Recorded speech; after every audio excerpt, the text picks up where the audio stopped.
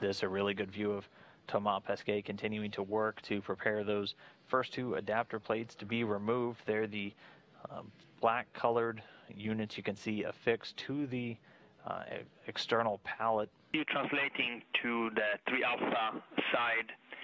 Before you trigger your, uh, your APFR, we are um, going to ask you to uh, check the SAB. And so what they're going to do is they're going to release these and then they're going to attach the adapter plates to something called the BRT. That's the body restraint tether. And that's a tether capable of being very rigid, uh, ever be introduced into the spacewalker's helmet.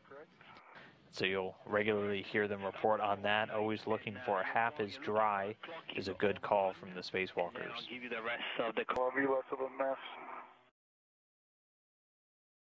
My head is right by your head. Come on. Okay.